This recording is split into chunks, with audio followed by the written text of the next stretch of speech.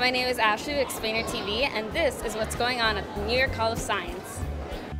Tesla's World of Electricity opened on July 10th on what would be Tesla's 157th birthday.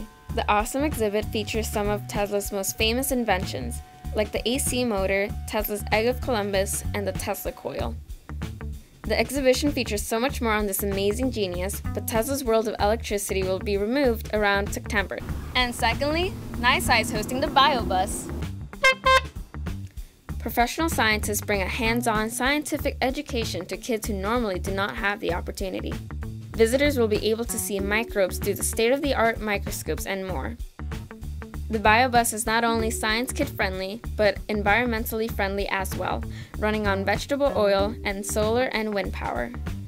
The BioBus will be at the Hall of Science this summer, so check out their website for more information. Last but not least, Maker Faire is returning this September to the Hall of Science. It's a family friendly festival of invention, creativity, and resourcefulness, and a celebration of the maker movement. I can't even begin to describe all the amazing things Maker Faire has to offer. Honestly, I haven't been to one ever, but from what I've heard, it's an amazing experience with plenty of things to do and see and taste. That's the latest from NYSCI. Thanks for watching Explainer TV. For more information, go to nysci.org.